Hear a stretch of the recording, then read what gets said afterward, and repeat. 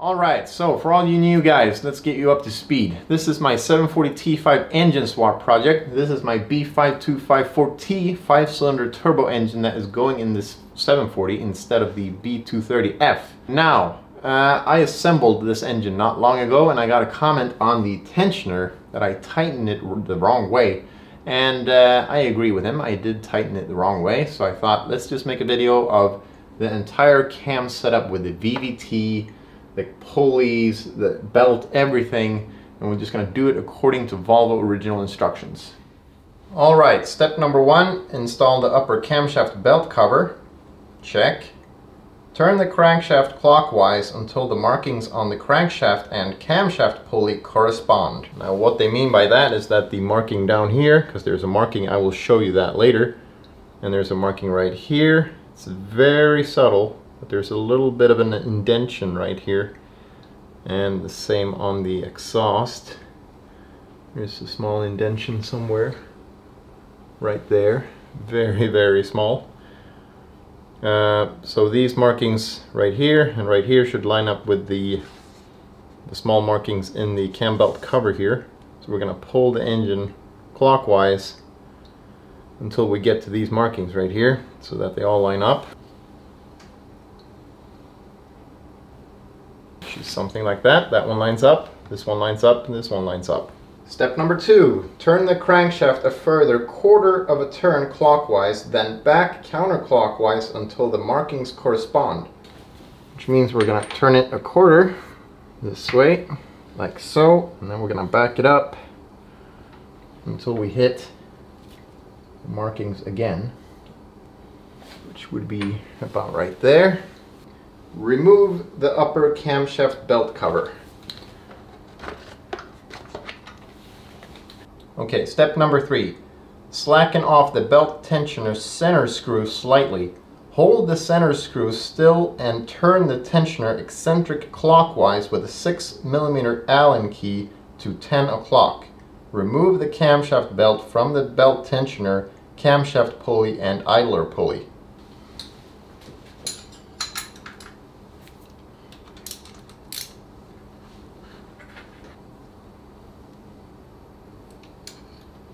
Alright, so it's time to remove the VVT and we're gonna head to the back side of the engine and put the cam locking tool in place. So let's do that. Alright, so let's start by removing the cam sensor here on the exhaust cam because we only have one VVT on this engine. Uh, it's held in place by two 10 millimeter bolts.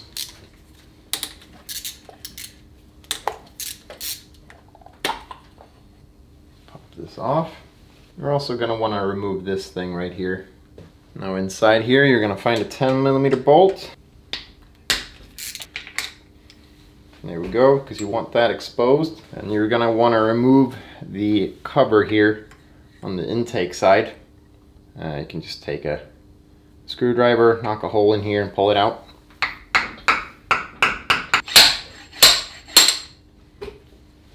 Alright, that's those things off. I'm going to be using this toolkit. Uh, all links are in the description below. And we're going to use this to lock our crankshaft and the camshaft. Next, let's install the exhaust cam portion of this uh, special tool. Carefully turn the exhaust camshaft clockwise with the camshaft adjustment tool until the intake camshaft tool can be applied screw the camshaft adjustment tools together as illustrated. All right, so let's turn this a little bit. And then we install the intake side of the locking tool. All right, so that is the cam locking tool in place. Was a bit of a struggle. Uh, really low quality stuff. Not really gonna recommend this, but I'll still link it in the description below if you want to check it out. But yeah, I would guess, you know, hiring the, the original tool that Volvo makes would make you a lot happier because this was really, really low quality, but we got it in there anyway, so. All right, next step, the plug at the front edge of the variable valve timing unit. It's a Torx 55, and we're talking about this cover right here. This is actually a plug, or like an, if you imagine like an oil plug So this is basically the same thing. So we're to start by removing that.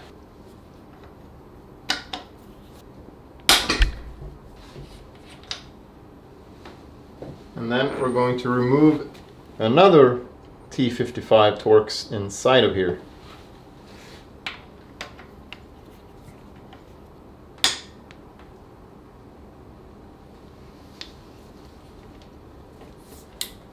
That would be impossible to do without the cam locking tool.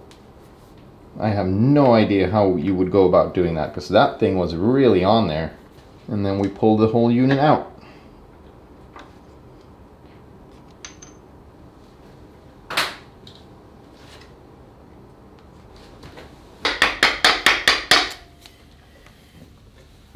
All right, so it's quite on there. Now we're going to remove the intake side of the pulley here.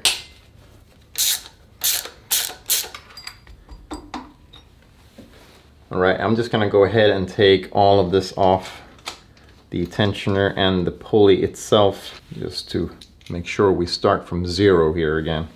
All right, so it's day two now. Uh, had to go inside, charge all the batteries and stuff, and it got kind of late, so but here I am again.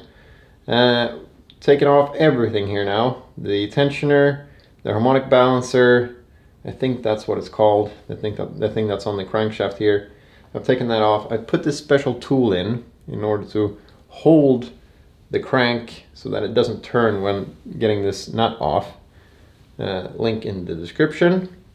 Uh, so what we're going to do now is lock the crank. So we're going to turn the engine sideways now and I'm going to show you how to install that. Alright, so this is the crank locking tool. Looks like this. Has a kind of a flat edge on this side and can only go in one way. And you do you insert it right here behind the starter motor. The starter motor sits right here. Uh, so you got to take that off obviously if you don't have it like I do in an engine stand. And then you will reach this bolt right here. It's an 8 millimeter hex. So just pop that out. Take the tool and insert it with this section right here upwards because you can't put it in like that because it'll hit the block. So you turn it like that and you pop it in.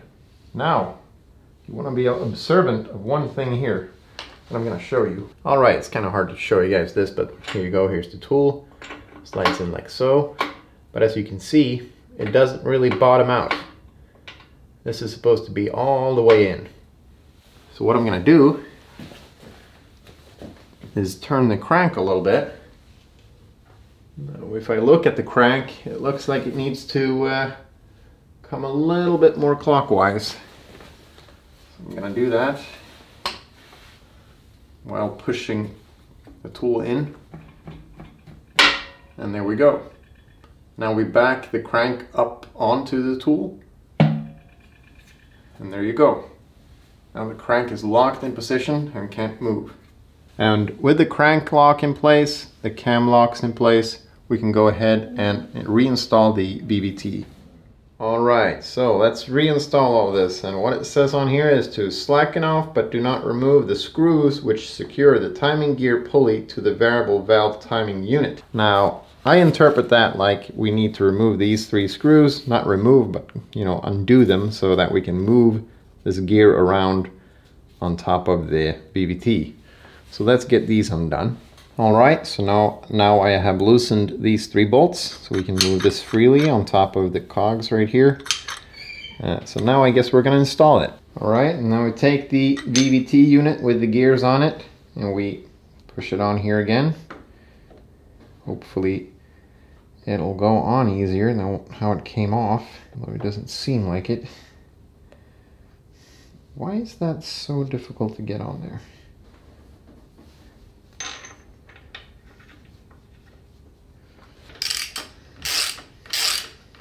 All right, so we just loosely put that on there. See, it just turns. It's not connected. Turn the timing gear pulley clockwise until the screws at the oval holes are in the limit position. Turn the timing gear pulley clockwise. Okay, so I guess it's, you know, I turn the timing gear pulley clockwise. So I turn it like that, and they're at their limit. So I can't turn this no more, it's at the limit. All right. Continue turning clockwise until the timing gear pulley marking is one cog before the marking on the upper timing cover. So about right there, I would guess. Check that the timing gear pulley is still in the limit position in the oval holes. Yes, it is.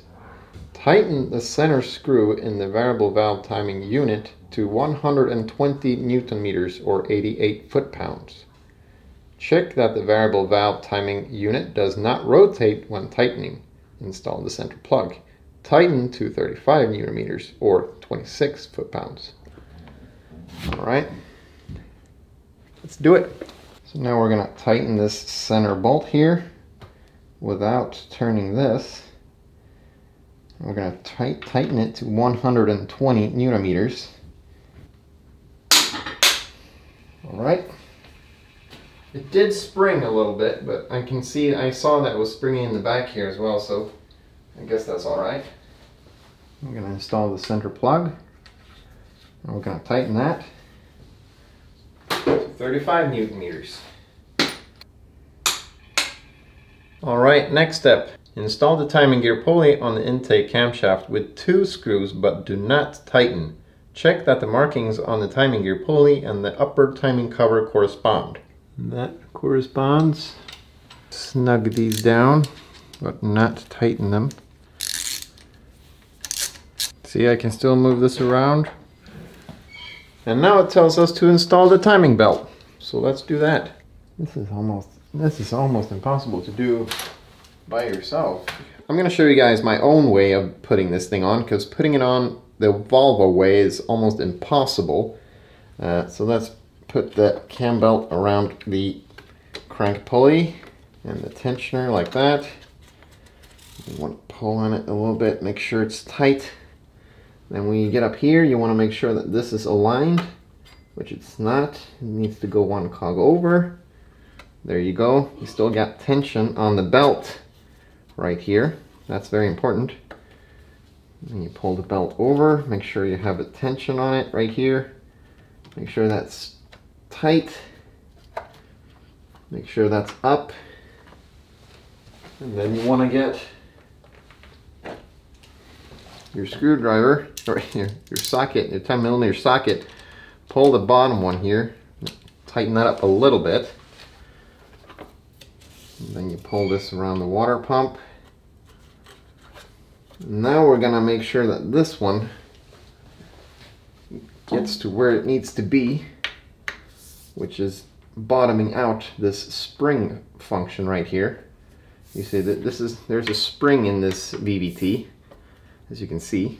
And you want to bottom it out while this gear is aligned with the markings up top. So you align the markings with tension on the VVT. And there you go. That's looking good with tension. It's looking really good. It's nice and straight up here, nice and straight up here. Now we're not going to do anything more with that. We're just going to let that go. Make sure the belt is on there. Then we're going to tighten up the tensioner. Once again, make sure the belt it's, is in its correct position. And then we're going to get the tensioner. You want to hold the center screw while you're putting the tension on it. Now on these you have an arrow. This is where I failed and got a comment on it because I tightened it the wrong way. It will tighten both this way and the other way, but I tighten it this way and that's the wrong way. You're supposed to tighten it this way, counterclockwise. So you do that and you want to tighten it a little bit more than you should. You tighten it up. There you go. Now, that? Go back here. We tighten this thing up. No, actually we don't. We let go of this. So this is all loose again, free to move. Make sure tension's out. And then we can see, okay, that's up, that's up, good. Then we put tension on this. There we go, that's bottoming out. So you have it at the bottomed out position. Tighten this down.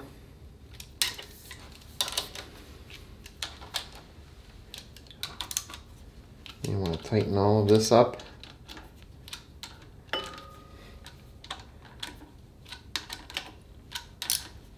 going to tighten that up properly later.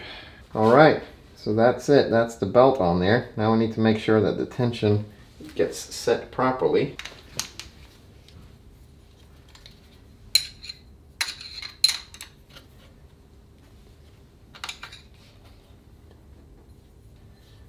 like I said, you want to do it, you want to get that in the middle right here.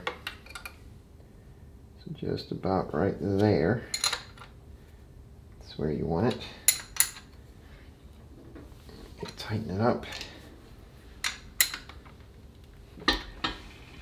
Now we turn the engine over twice. But before you turn the engine over, don't forget to get rid of the cam locking tool and crank locking tool or you won't get anywhere. I'm just gonna temporarily put the nut back on here. So you wanna make sure that these uh, alignment marks come back up.